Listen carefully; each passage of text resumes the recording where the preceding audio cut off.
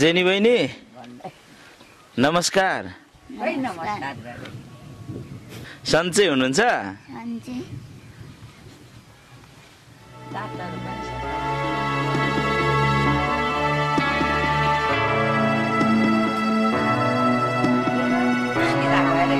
तपाईँको पुरा नाम भन्नु त। नाम भनिदेऊ जेनी मगर। ए कति वर्ष पुग्नुभयो? थाहा छैन।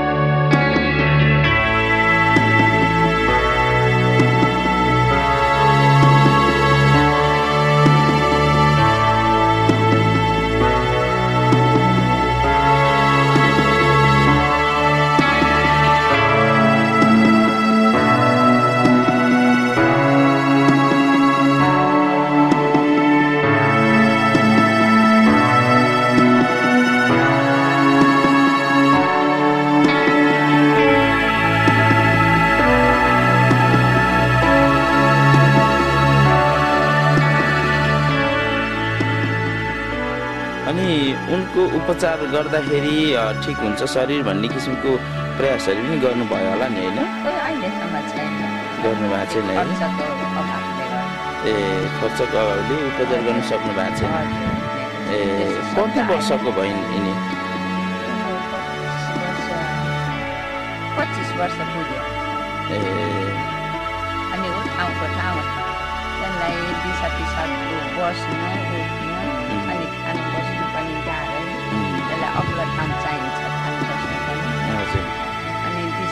गरेपछि आफैले दिशा पिसाब गइदिनुपर्छ नुहाइ धुवाइ गरिदिनुपर्छ सानैदेखि मोटो हो जेनी?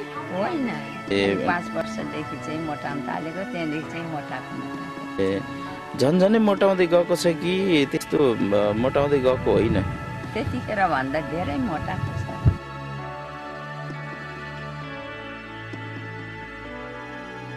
पातलो हुन मन लाग्छ कि लाग्दैन? अनि नाच्न गाउन गीत सुन्न त्यस्तो कतिको मन लाग्छ।